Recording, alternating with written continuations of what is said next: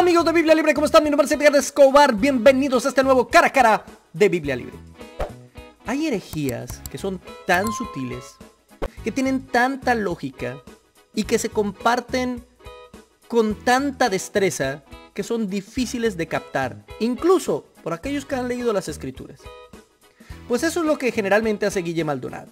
En este ejemplo que hoy en el cara a cara vamos a analizar, en solamente un minuto, Guille dice dos herejías. Y quiero que juguemos, vamos a jugar a Adivine la herejía, ¿qué le parece? Comencemos con la primera parte de su video. Y usted me va a decir si captó la herejía. Cuando dice Padre nuestro, esa palabra Padre, ¿qué significa esa palabra Padre?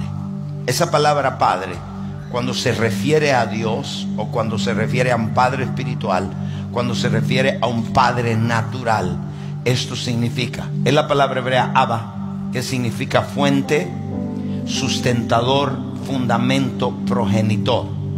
El Padre es el fundamento, la fuente de vida. Dios dice que honres a tu fuente y a tu sustentador. Primero que todo, buenas tardes. Este... Primero que todo, buenas tardes. Este...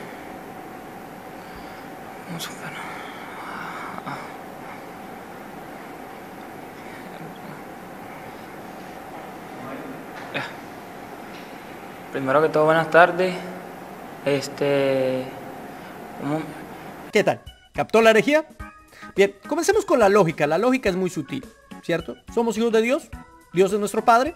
Tenemos otro Padre en la tierra, el Padre natural, el que nos trajo físicamente a este mundo. Y también tenemos padres espirituales. ¿sí? Entonces, como Dios es nuestro Padre y debemos obedecer a Dios como Padre, la lógica de Guille es que eso mismo se aplica a mi Padre espiritual y a mi Padre terrenal. Así que debemos someternos a nuestros padres. Y usa precisamente, el Padre nuestro está hablando de Mateo capítulo 6, verso 9, pero también está hablando de la palabra aramea Abba Padre. Él es nuestro sustentador, nuestro progenitor, dice incluso.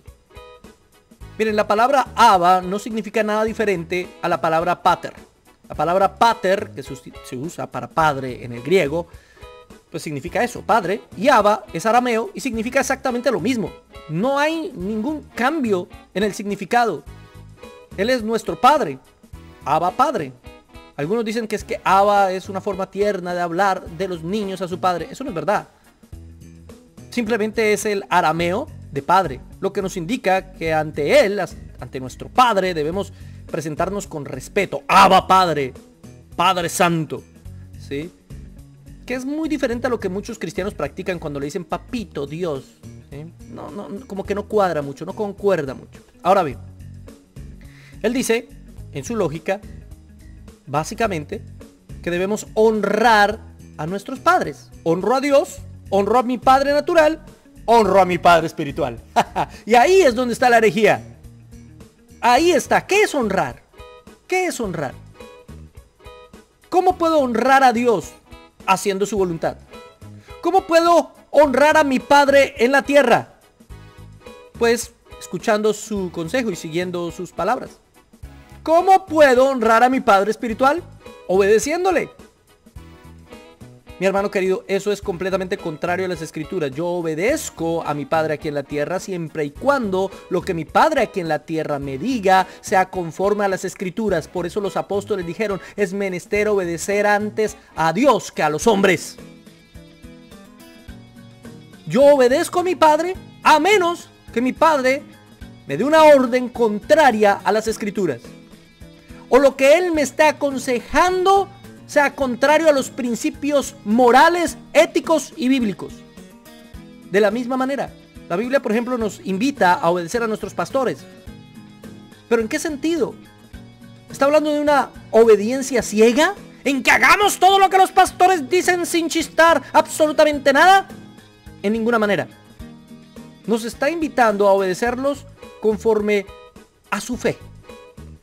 A que lo que ellos nos dicen es guía de la palabra de Dios. Si tenemos un pastor que merece honras porque predica bien las escrituras. Y honrar lo que es, es obedecer las escrituras. Pero aquí Guille, como es costumbre de él y en varias de sus predicaciones, está intentando es justificar una autoridad extra que él piensa tener por autoproclamarse Padre Espiritual de multitudes. Eso es contrario a las escrituras, perdón. Si bien Pablo en varias oportunidades habla a Timoteo como su hijo, y en otras oportunidades habla y dice, hijitos amados, eso no quiere decir que a él le dijeran padre, o que le dieran alguna autoridad superior a la de los demás, porque él es mi padre espiritual, entonces él me puede mandar y yo tengo que honrarlo con unas ofrendas espirituales también será. No. Era una expresión de cariño de Pablo llamarles hijitos, pero jamás hubo una exigencia de que le llamaran a él padre. Esa doctrina de la paternidad espiritual no es otra cosa que intentar enseñorearse sobre las personas que no estudian profundamente las escrituras. Pero bueno, ahí encontramos una primera herejía. Sin embargo, no es la peor. Escuche lo que dice en esta parte. Eso es lo que es Dios, una fuente, un progenitor, un sustentador. Progenitor es donde vienen los genes. Nosotros venimos de los genes de Dios, fuimos creados a su imagen y semejanza. Eh, nosotros tenemos los genes de Dios. Los genes determinan la calidad de vida que una persona va a tener. O sea, dependiendo de los genes físicos que usted tenga, va a decir si tiene una longevidad de vida. Pues no le creo nada. ¿Captó la herejía? Yo creo que sí. Es decir, aquí él usa algo bien extraño, habla de los genes de Dios que porque Él es nuestro progenitor y progenitor viene de genes. Así que tenemos los genes de Dios, Él nos transmitió sus genes. ¿En qué sentido Dios nos transmitió sus genes? Solo habrían dos formas, o físicamente o espiritualmente. No hay más. O nos transmitió físicamente sus genes, cosa que no es posible porque el Señor Jesús explicó que Dios es espíritu y los espíritus no deben tener genes porque son espíritus. Así que obviamente no nos transmitió físicamente a los genes. Así que tiene que hablar en un sentido espiritual. ¿Qué quiere decir entonces que tenemos los genes de Dios espiritualmente? La única explicación lógica a tal afirmación es decir que nosotros compartimos naturaleza con Dios. Que parte de la naturaleza divina está con nosotros. Eso es una completa herejía. Eso es panteísmo. Creer que un pedacito de Dios está en nosotros. No, eso no es verdad. Él se justifica en Génesis cuando el Señor dice que hemos sido hechos a su imagen conforme a su semejanza. Pero esto hay que entenderlo bíblicamente, mi hermano. Somos imagen de Dios. Imagen. Yo veo, me veo en un espejo y ¿qué veo? ¿Me veo a mí? ¿Soy yo el que está en el espejo? No, es solo mi imagen, pero no soy yo, yo estoy aquí. El espejo refleja la luz que me hace ver mi imagen. Pero mi imagen no soy yo, es solo mi imagen. Nosotros somos imagen de Dios, no somos Dios, no tenemos un pedacito de Dios, no somos Jehová Junior. ¿Se dan cuenta cómo todas estas personas enlazan sus conceptos de la misma forma? El decir que tenemos el gen de Dios es insinuar de alguna manera que somos dioses, pequeños dioses o dioses en potencia. Si no, no tendría ningún sentido afirmar tal cosa. Y esto es absolutamente contrario a las escrituras. Y no solamente es absolutamente contrario a las escrituras, mis hermanos queridos, esto es una absoluta herejía. Ahora bien, nosotros no podemos tener en ningún sentido ningún gen de Dios. Romanos, capítulo 8, verso 15. Pues no habéis recibido el espíritu de esclavitud para estar otra vez en temor, sino que habéis recibido el espíritu de adopción por el cual clamamos Abba Padre. ¿Se da cuenta lo que dice Romanos? Podemos clamar Abba Padre. Él es nuestro Padre pero nosotros somos hijos adoptivos. Si un hijo adoptivo tiene el gen de su padre, pues ese ya no es un hijo adoptivo, es un hijo natural. Nosotros no somos hijos naturales de Dios, el único hijo natural, el único que comparte su naturaleza es Cristo. Nosotros somos adoptados. Y la única forma por la cual podemos clamar Abba Padre es por los méritos de Cristo. Gálatas 4:6 y por cuanto sois hijos, Dios envió a vuestros corazones el espíritu de su Hijo, el cual clama, Abba, Padre. ¿Se da cuenta?